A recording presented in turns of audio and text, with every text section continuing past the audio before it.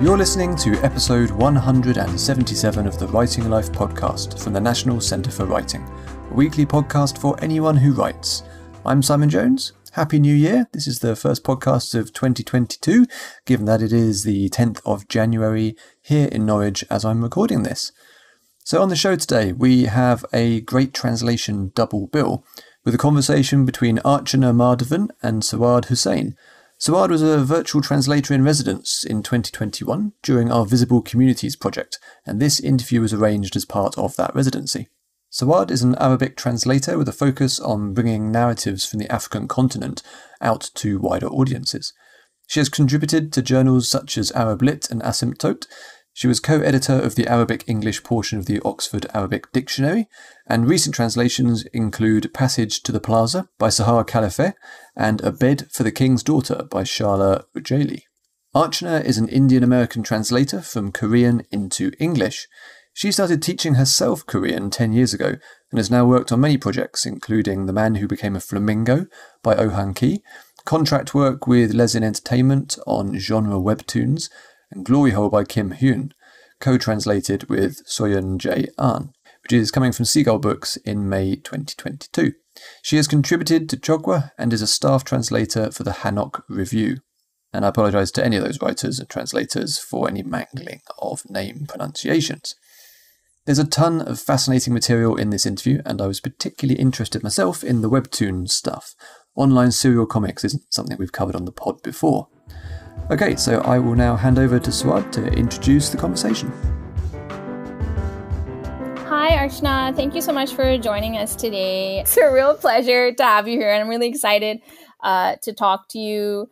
And just to let everybody know, you know, I don't know you personally, so this conversation is very much me getting to know you and about your practice as a translator, and that we first got to you know know each other a little bit through the BIPOC caucus, which has been uh, organized mm-hmm. by Alta.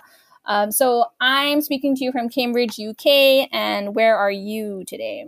Yeah, I'm in Dallas, Texas, um, visiting my parents who live here, but uh, usually I'm based in San Jose, California. So uh, it, it's a pleasure to to meet you, and I, I've seen you on Twitter and and seen you in the in the caucus uh, Slack, and so it's it's really awesome to kind of uh, see you and uh, chat with you. Yeah. Yeah. Great. So I'm really interested in how you got into working with Korean. And mm-hmm. in addition to that, do you speak any other languages? Yeah, yeah. Um, so uh, I get this question a lot, especially you know they see an Indian American. yeah, I mean, like you said it right. yeah. yeah. Um, I mean, I grew up multilingual. I always had an interest in learning foreign languages, and I would say that the the thing that always attracted me to a language was the sound of it, um, mm. and that's really how it happened with uh, with Korean. Um, so the funny thing is, I watched this very campy Korean horror movie um, when I was in college, and um, amid all the screams and gore, um, I just fell in love with the way that Korean sounds as a wow. language. And yeah, and that was really how it started. Um, and I think I was just casually listening to a podcast um, on teaching uh, people Korean. Um, this mm-hmm. was back, you know, a little over 10 years ago uh, when um, I think that the Korean media wave was just starting to kind of come to North America.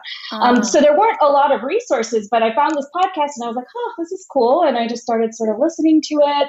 And um, I think what what really made Korean stick over all of the other languages I'd, I'd tried, and I tried like Italian and, and Brazilian Portuguese and wow. um, you know a whole bunch of other languages. And I think what really stuck was just how phonetically and, and morphologically um, Korean was similar to my mother tongue, which is um, Marathi.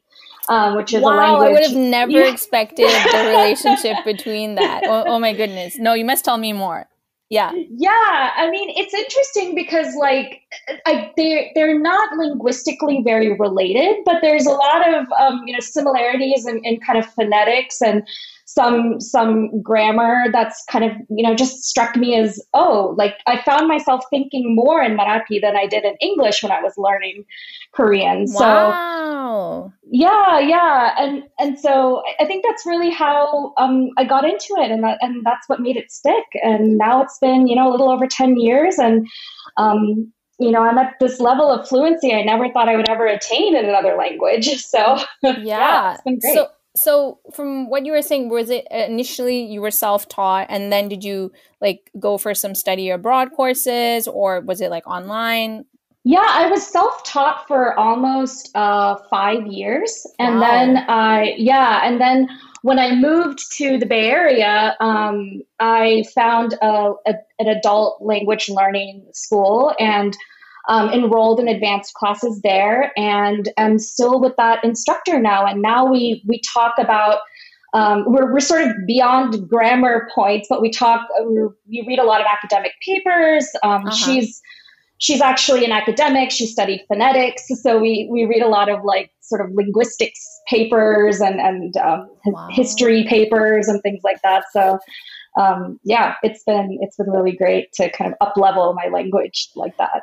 Yeah, no, I'm just always really impressed because, like, by profession, I'm a teacher. I, I have been I used to teach Arabic for about ten years, mm-hmm. and then you know moved into working in the ed- education sector and doing translation on the side.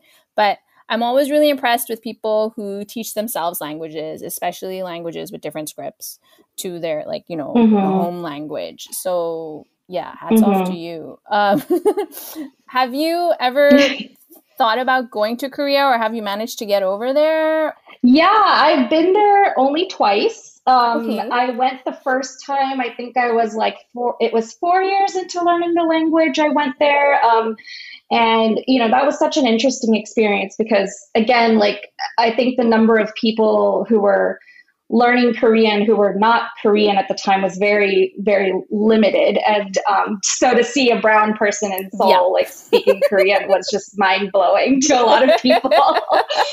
um, I went again in 2019. Um, that was my sort of like 30th birthday present to myself.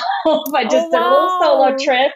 Yeah. Um, and that. that was very interesting because the reaction I got then was people asking, Do you work in Seoul? Um, oh. And so, you know, it just kind of gave me this interesting little indicator of like, the kind of globalization, I guess, that had happened, or mm-hmm. like there were a lot more non Korean people learning Korean and working there and living there. And, and I didn't get so many like wide eyes when I spoke in Korean. in, yeah. In Korean also, maybe it's so. because like your level of fluency is, you know, mm-hmm. much higher. And that's why they just assume that you live there. Um, mm-hmm. Mm-hmm. I don't know. Um, yeah. Okay. And so getting into translation.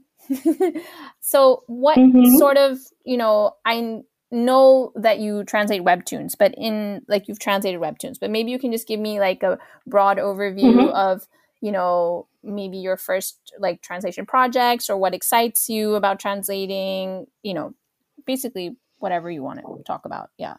yeah, yeah, I can tell you um, because you know it's interesting. I've been a, a, language learner and student of Korean for far longer than I have been a translator. Um, mm-hmm. To the point that you know I see the emerging translators thing and i'm like well if the, if these people are emerging i haven't even been conceived yet. Like, um, i started translating um, in earnest in 2019 okay. So still very new um, but i think what was uh, what might be interesting to, to talk about a little bit is um, you know i was very ignorant about translation for a long time um, mm-hmm. and and it's kind of funny because i love to write. Um, i've actually published personal essays and and I write fiction. Um, ah, okay, I didn't know yeah. that.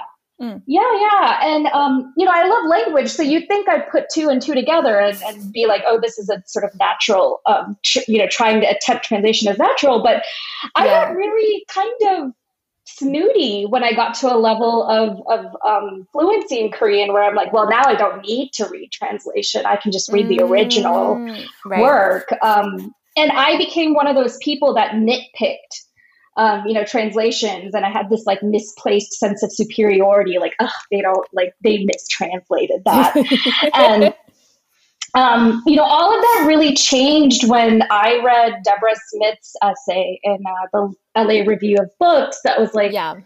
around the time The Vegetarian um, won the Booker Prize. Yes. And yeah, and she wrote about um, how translation is is recognizing, um, you know, not just it's not just words and it's not just transference, but it's kind of translating from one literary convention to another Mm. And um, and I just thought that was so fascinating to me because I had I had thought about translation as just transference up until that point. Mm-hmm. Um, and so and then I was like, wow, I'm extremely ignorant in this. And so I took um, Elisa Wuko um, six week introduction to writing and translation workshop with Catapult, which was the only Catapult workshop available um, related to translation at the time in 2019. Ah, right. Mm-hmm.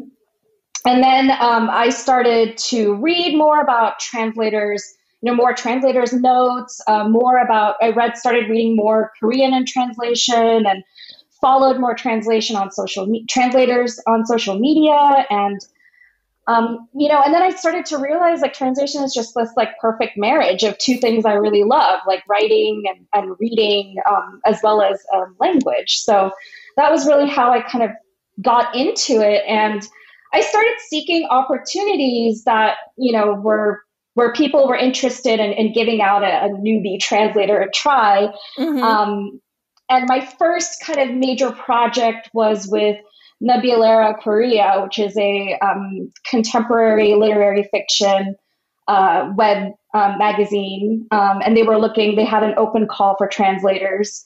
Okay. Um, yeah, and I and I worked on a um, on a short novella that was serialized on the website, still on there. Um, oh wow! It, okay. Yeah, yeah. So that was my first first ever project um, that got published at the beginning of 2020. Yeah, mm-hmm. like January 2020. So yeah, that was uh, that was the first kind of foray into that, and then and then it was webtoons. I around that time I also got into translating webtoons and and you know i was just trying to really read a lot of literature um, translated literature and also just korean literature to see like what that space was like during that time because i was very fascinated with literary translation so yeah yeah so i mean for our listeners i mean because i personally when we first started chatting on the mm-hmm. bipoc like slack channel i didn't know what webtoons were and i had to google it uh-huh. so maybe you can just tell me and our listeners like what are webtoons and what is your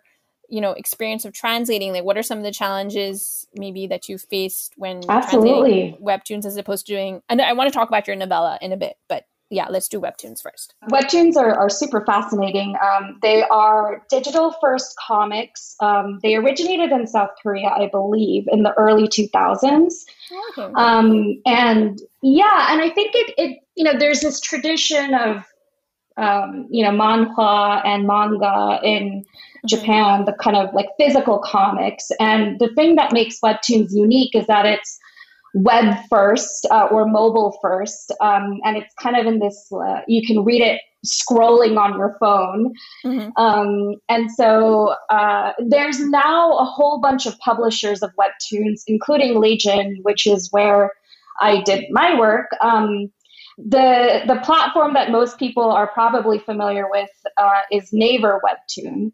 So, and it's a little it's a little confusing because there's Webtoon, the the the media, the like the the the type of content, and then right. there's Webtoon with the capital W, which is the name of the publisher. Oh, um, okay, okay, okay. Yeah, it's very confusing. Yeah.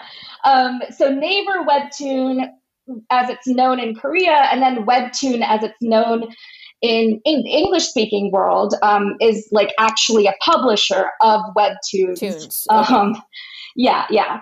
Um, but yeah, the Na- Naver webtoon is, uh, I would say, probably um, one of the more widely known um, publishers of webtoons. Is that sorry? Is that um, Naver or Naver? Yeah, N A V E R. Naver. Okay, interesting. Yeah, they're kind of like the they're they're like kind of a web portal, um, media, big media conglomerate. Um, you know, I, I sort of similar to Google, just like you know, has their hands in, in a lot of different kind of media and tech spaces. Yeah. Right. Um, and uh, yeah, so um, let's see, uh, what else is there? Uh, I, I guess so. In terms of uh, popularity, um, they're extremely popular in South Korea, and I think what's interesting is um, there's a number of uh, like Korean dramas that are mm-hmm. um, also uh, like Korean TV shows that are based off of uh, popular webtoons. So there's oh. one that's yeah, yeah, it's very it's it's uh, super interesting. Um, and I think that uh, there's actually one that's airing in Netflix right now. Uh, it's called Nevertheless. That's a that's pretty popular among like I would say like you know the mid 20s or, or early 20s demographic, and that was based off of a webtoon that I had read. And um, oh. I, yeah, I, I was all, I was always I always get a little a little thrilled when I'm like, oh, I read that webtoon. Now they're making a drama out of it. That's cool. Yeah, uh, which, which, is like a really good point. That it's not just for like teenagers. There's also, I mean, it, it everybody's read. Is it? Do kids also read it, or is it like teenagers and yeah. above?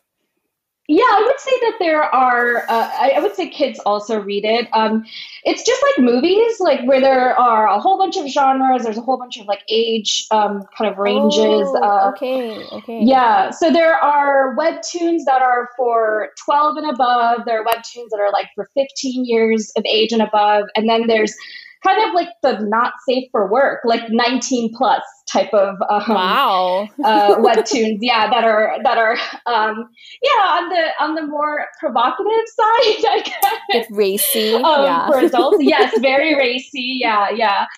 Um, so definitely there's a huge, there's a wide demographic of, of people that enjoy webtoons. Um, and they're also gaining a lot of, uh, it's also gaining a lot of traction in the English speaking world. Um, mm-hmm. And so like webtoon, the, the company, the publisher, the Naver webtoon publisher, they actually have um, an English platform where you, if you're, if you're a creator, you can publish uh, your own webtoon on their on their platform. Oh, okay. For yeah, for readers to consume, and there are also some um, English original webtoons uh, that are quite popular. Like I'm reading Lore Olympus, which is a, a retelling of Hades and Persephone, and that's an English original webtoon that's award winning. It like has I think probably one of the highest views on that website. So okay. And yeah, are, yeah. do you have to pay to access webtoons or are they like free or is it depending on the platform? Yeah, the monetization depends on the platform. Um, typically, uh, you can pay per episode. Um, and it's usually you have to buy like coins so you you use money to buy coins and then you expend coins to unlock episodes or chapters oh, um, okay. yeah and uh, and I think that there's there's sort of like uh, like you can pay to see. Uh, so so some webtoons are free, but you have to you can pay to unlock like the future chapters Chapter. sooner. Yeah, yeah. Ah. So, um, so Lore Olympus, for example, is one where uh, there's a new chapter that unlocks every week. Okay. Um, but but for paying uh, for paying readers, uh, they're like five chapters ahead. I think so. Like, oh, okay, yeah. So, so it's pretty. Yeah, it's it's kind of interesting the monetization. So that leads me to a question about when you were translating webtoons. Does that mean you've actually mm-hmm. you've translated everything beforehand? If there's readers like working at different you know sort of paces and also if you can talk to me a bit about localizing the the content because um, we, we had a quick mm-hmm. chat about this about maybe some of the decisions you were faced with when, when you know translating korean content for i don't know if you're doing it for a uk audience or a us audience or yeah yeah um so it's i'm trying to i'm trying to think um I think it varies by comic. There's definitely the translators are ahead for sure when it comes to what the readers are consuming. It's never we're several weeks in advance. We've we've like translated okay. in advance. Um, uh, I think with Lezhin there was um, maybe eight to ten episodes had been translated before it was even available for English readers to to consume. So I had to to publish a or I had to submit a certain number of translations before I think eight to ten chapter translations wow. before um, it, it started. Yeah, it started uh, being published on the website.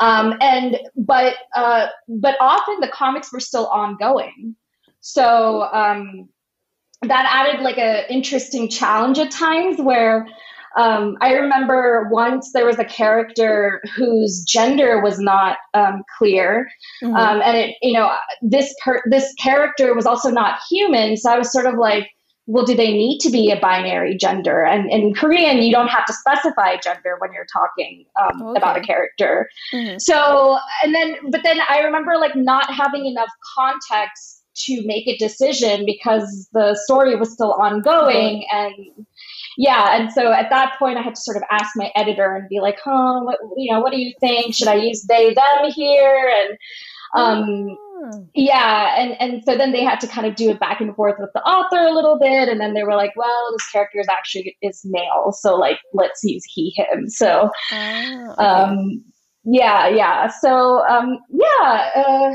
I guess what was the question? Sorry, I got off. Yeah, that's okay. Bit. Yeah, no, you were not not off topic at all. So my question was about um well now I have another question, but the mm-hmm. previous question was about localization. Oh yeah, of, yeah. Mm-hmm. Have you faced any sort of like which audience are you translating for? Mm-hmm. Were there mm-hmm. any sort of cultural things like maybe I don't know food items or cultural practices that you really had to think about or not really because it's mm-hmm. sort of displayed in the image?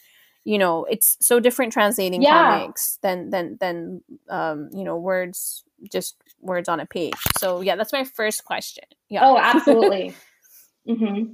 yeah yeah so um i think different publishers probably have different guidelines around this but lezhin uh, i think favored um, american english so in terms mm-hmm. of slang and um, spelling and things like that like that was uh, that was for that was in american english okay. um, and, and, i think it could vary depending um, you know depending on publisher what their preference is um, mm-hmm. in terms of localization uh, i worked on a, a fantasy a historical fantasy webtoon as well as a sci-fi um, uh, fantasy webtoon.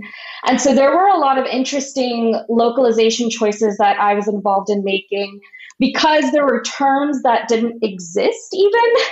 Um, so there were like made up terms in Korean that used like hanja, like Chinese characters to make up the word. And so I had to kind of decide like, do I do a transliteration here where I just kind of spell out what the Korean sound is in, in using Roman letters, um, and then you know rely mm-hmm. on the readers um, having the context of the story to kind of figure out what that is. Or do I mm-hmm. take the meaning of the Chinese characters and then like kind of rewrite it in English? Um, so there were some decisions mm-hmm. that I worked on with an editor to kind of make sure I struck that balance of like, let's not remove all elements of Koreanness from this story by yeah. literally yeah like by translating some of the the the terms um, but then let's you know like for some of the other other things let's make sure we keep let's let's just do a transliteration instead of a full localization so. So it was a bit of like it was a mix like you're saying for some of the names you did transliterate and for some of the other ones you translated yeah yeah. yeah. Oh. so yeah some concepts where we were like you know this is this probably makes more sense for the reader and the story if we just tra- like localize and translate. And then there were some things that i think uh, specifically related to korean culture we were like let's not um, you know let's try to keep this um, in korean but just transliterate it and then make help the you know hopefully the the story and the the image kind of helps convey what that what that is to the reader. So yeah. Oh. And mm-hmm. so what's the sort of trend like when when I translate from Arabic when I'm translating comics? The sort of trend mm-hmm. is that um, it ends up like whatever Arabic you have on the page, it ends up as more words in English. Um, mm-hmm. just because Arabic is more sort of I guess, you know, mm, for example, the verb to be is not in there. It's kind of implied. So as a mm-hmm. result, when you translate into English, you have to add things like is and am and, and whatever. But what's mm-hmm. the trend with Korean to English? Is it the same thing where you ha- where you're having like the words come out as so much more, and then you have to try to condense it, or is it kind of on par? Yeah, yeah, I would say uh, things tend to be longer um, when you translate it into English. Uh, Korean is an agglutinative language, so like you can say you know a whole sentence english sentence worth of, of things um, using just one word and the right like kind of con- using the right like kind of um, uh, suffixes Whoa, uh, okay. attached to the verb yeah so like that was always interesting and i was conscious of that when i would do my translation because I knew the typesetter is going to have to like squeeze in all of my English like into a word bubble. Yes. Um, but but I would uh, but the publisher and my editors didn't have specific guidelines around that. They weren't like you know make sure you have only a certain number of characters. Um, but I was mindful of that because you know I don't want to. I, I, didn't want to put the editors through too much extra work. So I was kind of like, okay, well, if the word bubble is this small, I probably shouldn't have like an entire paragraph in there. Yeah. And the process after you would submit your translation, is it review? Would it be reviewed just by your editor, who I'm guessing speaks Korean and English, or mm-hmm. what? What was the process before it would be sort of published online? Yeah, um, I didn't have a lot of involvement at all with that. Um, so I would, uh, I mean, I had deadlines for my chapters uh, weekly, and um, I was translating three titles, so I would have three separate deadlines that week. And wow, I would, sub- yeah, um, it wasn't huge. I would translate about like 400 to 800 words in English um, per okay. chapter, per chapter. So like no more than like 2,400 words in a week. Um, it doesn't for, sound like a lot, but I know when you're working with pictures, it, there's a lot more to take into consideration, right? Yeah, yeah, yeah. yeah. Um, but yeah, after I submitted the translation, um, you know, the, the editors told me in the beginning when I was starting out, they're like, well, you might have some back and forth, or your editor might email you about something and you might have to make a tweak. Um, but I did not usually get any feedback afterwards. So I assumed either the changes they were making, and I would sort of see this in the in the final work, were mm-hmm. minor enough that they didn't feel like they needed to like communicate that to me, okay. um, and they just kind of like made the edit on you know as they were um, getting ready for the next step of the publication um, process, and didn't really inform me about it. So yeah, um, yeah didn't have a ton of transparency into the the steps after um, after I submitted my translation, but okay. uh, for better or worse, I don't know. And um, did you like? Why did you stop doing that? I mean, is it just because mm-hmm. you, you know something else came along, or are you still doing it? So I uh, was with Lezhin for about a little over a year. Um, Mm-hmm. And I stopped uh, mainly because, um, well, one thing is like I started because I wanted uh, the experience of translating webtoons because I, as a reader of webtoons, thought it would be a lot of fun. Yeah. Um, and um, also just like the regularity of doing translation because up until then it was sort of haphazard and I was kind of looking for opportunities. Mm-hmm. But um, I have a day job that's completely unrelated to translation. I work in tech, mm-hmm. um, and that's what pays my bills. Um, and and so I was getting to a point with my translation where, uh, with the, with the webtoon translation, where the benefit that I was getting out of um, translating webtoons was sort of decreasing. It was taking up a lot of time, yeah. and I wanted to explore literary translation more, and I just didn't have um, as much time. I, that was around the time I also started working with Chogwa. Just going to um, ask you um, about that. Yeah, yeah. So Chogwa is uh, was started by a um, Korean uh, translator, uh, Soje, um, and they are part of the the Smoking Tigers uh, Korean Translators uh, Collective, and um, known for their translations of uh, Korean poets. Um, and they started this project, uh, and it, it, features one Korean poem every quarter and invites multiple English translators, uh, English oh, translations. Okay. Yeah, and um, the whole the chogwa in Korean means um, kind of excess, and uh, and I think it's to it's sort of the the ethos of the of the webzine is um, there shouldn't. Uh, there's freedom in knowing that your translation isn't the only translation.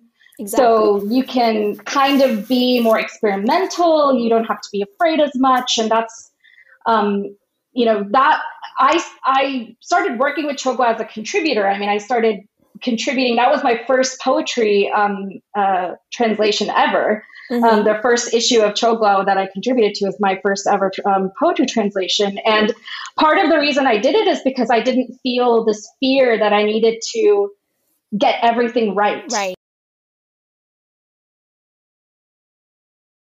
and I, I was going to have this opportunity to learn from other translators that also contributed uh, mm-hmm. contributed to it. So yeah, so then I kind of um, chatted with Soje and and said, hey, you know, in my day job, I do a lot of like digital marketing, I do a lot of digital content. Like, mm-hmm. would you want someone to help with the sort of admin related stuff or social media related stuff um, mm-hmm. with with Chogwa, and um, and so that's how I started working uh, working with them.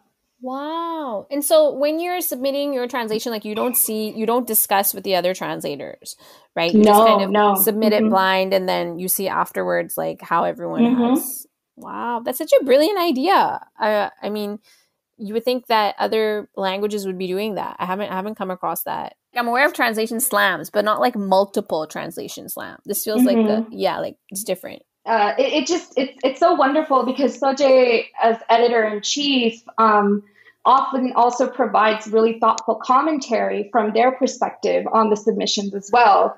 Um, and so it's interesting seeing your work as part of this larger conversation um, around translating this particular poem and um, and yeah, I don't know. I just I feel like I've learned so much and grown so much as a translator just participating in in Chogwa. Can you tell me a bit about the Hanok? Am I pronouncing that correctly? The Hanok review. Hanok. Hanok. Yeah. Hanok.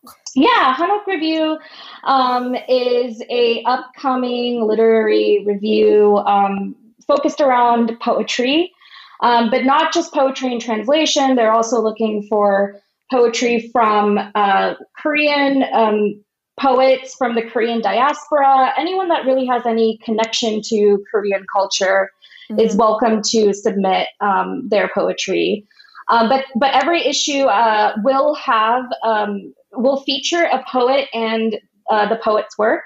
So um, the first inaugural issue will be uh, I think we are aiming for the end of August, although it might bleed into the beginning of September. Um, mm-hmm. That's when, uh, around the time it will be published, and we will be featuring the work of Yoon Hoo Myung and, and, translations of his poems. And yeah, I'm um, excited to be one of their staff translators. Um, so my role will, will be in providing reviews and comments to translations uh, that the other translators have provided and, and vice versa. So ah, okay. yeah, we're trying to make it more of a collaborative effort um, in in translation in translating the the poet the poems. Ah, okay. And uh, just because I always think it's important, are you being paid for your work at the Hanok review and also at the web at the you're laughing at the Chogwa Chogwa and uh, no, the, so Chogwa and the Hanok Review um, are volunteer uh, roles for me. Roles. Okay. Um, yeah, I'm, I'm not being paid. Um, the webtoon uh, gig was paid. Right. Um, I was paid by word, and um, yeah, so yeah, uh, and I, and I, you know, I, I say this with um, you know a lot of, of privilege in that because I, I do have a day job and it's a tech job. Um, mm-hmm. There's I don't um, think about compensation, um, the the, the need for compensation um, too much. Although you know, it would be nice to be paid for my labor, but I also yeah. think that you know, I, I think as an as emerging translator, I'm grateful for the opportunity even to like talk to people in this space because I'm so far removed. Um, you know, I'm not in an MFA. I'm not in, in any kind of translator sort of circle other than the BIPOC one, which that has been great. Mm-hmm. Um, so I, yeah. Um, so I think there's uh, benefits, but you know, I know that's not um, fair or um, uh, it's not a decision that uh, some people can make to yeah. do unpaid work. I I mean like even when I was starting, I mean I did a lot of unpaid work, but it's cuz I enjoyed it, right? Mm-hmm, but at mm-hmm. the same time I think like it does get to a point, I don't know, I think maybe eventually you'll get to a point where even with your day job like you want to make sure that what you're doing I don't know is is doesn't have to be payment exactly but is recognized and appreciated which you know yeah, is probably yeah. how you do feel which is you know why you're you're you're taking part in these mm-hmm. projects. Um, and you don't need an mfa to be a translator. I don't have one. Um, and i'm not planning i mean sometimes i'm tempted and i'm like oh it looks so cool but like where am I going? I don't have time for that. Like, I'm sorry. No. Um, so, um, I wanted, I mean, you obviously have a lot going on, but I wanted to ask, is there anything you're like pitching at the moment or something, or, or like a book that you've read that you're just in love with and hoping that some publisher out there who's listening? There is one, um, there's a, there's a short story that I'm translating. Um, it's a science fiction short story by a relatively new author. Um, and it's a story that I just happened to stumble across when I was reading a collection on um, science on science fiction, Korean science fiction, and um, this won this story won an award for um, I think it was like new writers. I, I don't know. I have to Let's That's just fine. cut that. I don't yeah. know the name of it. it's okay. it won, it's, an, it's an award, award, winning, yeah, yeah, it won an award. Yeah, yeah, and um, it's it's very like Black Mirror esque. Like it has to. Uh, I don't know if you've seen the show Black Mirror, but I haven't watched um, it, but I'm aware of it. Yeah. Yeah, yeah. It's it's very um, kind of about like um, virtual reality and and um, but uh, but yeah, it's a really great story, and um, the author really uh, the author's life actually really resonated with me because they um, oh. the author uh, actually wanted to be a writer couldn't um, said that she she had some challenges trying to make it as a writer so then um, mm-hmm. is now working in it with or started working in, in it mm. and um, but they're also fluent in japanese and i was like wow there's so many things like so many threads coming together here i feel yeah. like such a resonance with this writer so I am translating that and, and hoping to pitch and or submit it to some places. Um, mm-hmm, mm-hmm. You know, but I'm, I'm kind of taking my time with it. Um, yes. Yeah, yeah. So that's kind of uh, what's on my mind. okay, great. There's so much more I want to ask you, but I'm also aware, like, you know, we can't sit here forever. Um, but I just wanted to, yeah, thank you again for, you know, joining me today. And thank you to our listeners. And do you want to maybe give your Twitter, or your, your, your Twitter handle in case anybody wants to sort of yeah, reach out yeah. to you? Yeah. Do you want to just mm-hmm. like, yeah. Absolutely. I am at, uh, yeah, I am at Chanamu on um, Twitter. That's C H A N A M U U. Mm-hmm. Um, and uh, yeah, the, the, reason for that name is like another story, but but yes, you can find me on Twitter there. okay, great. Yeah, and I'm yeah. very active on there. So thank you so much for having me. This is a, this is so delightful and my first ever like conversation about translation anywhere. So this is super exciting for me. well, I hope it's the beginning of many more. Yeah. Thank you. Thanks for listening, and many thanks to Archana and Sawad for that brilliant conversation. If you have any questions about this episode or anything else we do, you can find us all over the internet. We are on Twitter and Instagram at Writers Centre. We have a Facebook page, and of course, we have a website which is found at nationalcentreforwriting.org uk. If you go over there, you can find out about everything that's coming up, all of our courses that you can sign up to right now, and of course, join our newsletter so that you don't miss anything that's coming up later this year. And there is a lot. Don't forget to subscribe to the podcast so you don't miss future episodes. Please do leave us a review and a rating if you get a chance. And thanks again, keep writing, and we will catch you on the next episode.